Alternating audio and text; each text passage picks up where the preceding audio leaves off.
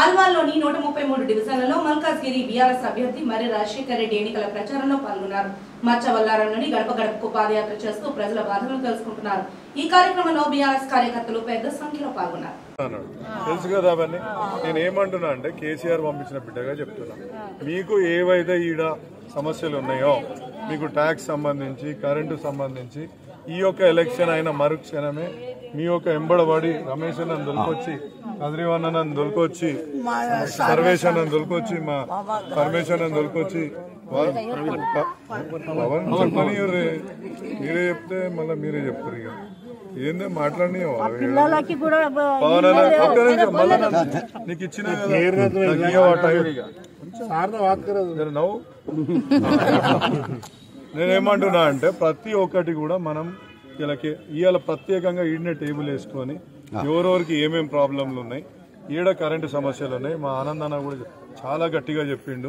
మా ఆనంద్ అన్నను కూడా గట్టిగా కూర్చోబెట్టుకొని ఆయన దగ్గర ఇక్కడ పెట్టుకొని ఏమేమి ఉన్నాయి ఎన్ని ఇండ్లు ఉన్నాయి ఎంతమంది ఉన్నారు ఎంతమందికి ఆధార్ కార్డులు లేవు ఎంతమందికి ఇంకా ఓటర్ కార్డు లేదు ఎంతమందికి ఇవాళ మన గ్రే మన కరెంటు లేదు రేషన్ కార్డు లేదు ఇవన్నీ మనం వేసుకొని మనం గవర్నమెంట్కి ఇచ్చుకున్నాక కేసీఆర్ గారు ఒక్కటే మాట చెప్పింది వీడికి నాకు టికెట్ ఇచ్చి ఇంతకుముందు ఉన్న వాళ్ళు పని చేయలే.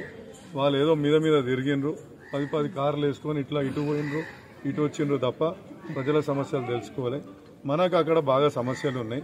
కాబట్టి మీరు ప్రత్యేకంగా అక్కడ దృష్టి పెట్టి వాళ్ళకి ఏ రకమైన ఇష్యూస్ ఉన్నాయి? డబుల్ బెడ్రూమ్ అప్లై చేసుకున్న డబుల్ బెడ్రూమ్లు. మన కళ్యాణ లక్ష్మి అప్లై చేసుకున్న వాళ్ళకి కళ్యాణ లక్ష్మిలు. పెన్షన్లు అప్లై చేసుకున్న వాళ్ళకి పెన్షన్లు. ఇవ్వాలనేసి ప్రత్యేకంగా ఆదేశించడం జరిగింది. కాబట్టి తప్పకుండా మీరు ఏదైతే ఉందో మేము మొట్టమొదటిగా గెలిచి వచ్చి ఇక్కడనే మీతోటి కూర్చుంటాం ఈ యొక్క పనులు చేసుకుందాం. నేను ఇది నా మాటగా చెప్తలే. కేసీఆర్ సార్ మాటగా చెప్తున్నా. ఇంకోటి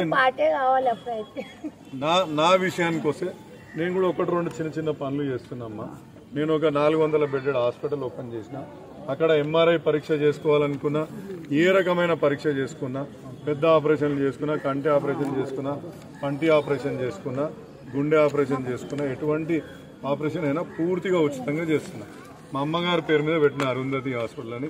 మీరు కూడా మీకు ఎవరికైనా వైద్యపరంగా సహాయం కావాలనుకుంటే. కేసీఆర్ సార్ ఒక పది పనులు చేస్తుండ్రు నేను కూడా ఒక పని చేస్తేనే కదా మీరు కూడా మెచ్చుకుంటారు. మీ నేను కూడా అట్లా ఒక పని చేస్తున్నా.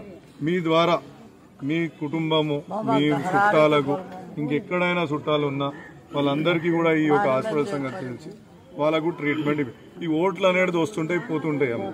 ఐదేళ్ళకు వస్తుంటాయి పోతుంటాయి. ఇదైతే వైద్యపరంగా ఇవాళ ఇరవై వేలు లేదే హాస్పిటల్ వేలు పోలేని పరిస్థితి. ఇవాళ మన దగ్గర పోతే ఒక్క రూపాయి కూడా ఇది లేదు. ఎవరికైనా ఉందా? ఇబ్బందులు ఉన్నాయా? ఎవరికైనా? ఆయన తీసుకొని రా ఈయన తీసుకొస్తే సర్వేష్ అన్న దగ్గర నంబర్లు ఉన్నాయి. ఈ అన్న దగ్గర రమేష్ అన్న దగ్గర నంబర్లు ఉన్నాయి. ఇక నీకు కూడా కాగితం ఇచ్చిపోతా ఆడికి సీదా తీసుకొని పో నీకు ఆడ ఆపరేషనా ఇంకేదైనా టెస్ట్లా ఏం కావాలంటే అది చేసుకుంటున్నాం?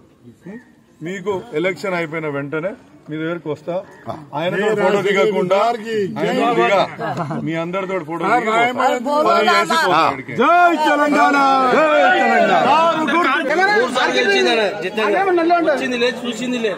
వస్తాడు చూసుకుంటా వెళ్ళిపోతాడు ఒక పని చేసింది లేదు. ఇది వరకు అయితే మేము వానలో మునిగినాం తేలినాం అన్న. ఒక మీటర్ లేదు ఒక కరెంట్ లైట్ బిల్ గిట్లా రాదన్న. ఒక లైట్ గిట్లా రాదా సార్. సీసీ రోడ్ వేయించినట్టే అది గింత వేసి అది మొత్తం నీళ్ళే నిండిపోతాయి. ఈ బొలారంలో మనకు ఒక దగ్గర కూడా ఒక మోడర్న్ మార్కెట్ కట్టుకున్న ఆనవాళ్ళు కనిపించలేదు ఇవాళ ఒక చిన్న ఫైల్ పట్టుకొని ముఖ్యమంత్రి గారికి ఇచ్చినుంటే ఇవాళ ఈ పని అయిపోతుండే.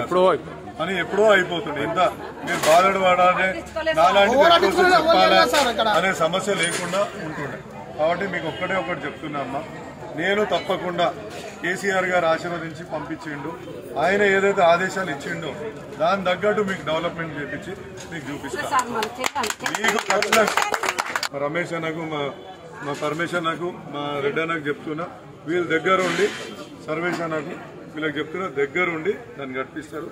దాని బాధ్యత అంతా మాది కారు గుర్తుకే కారు గుర్తుకే కారు గుర్తుకే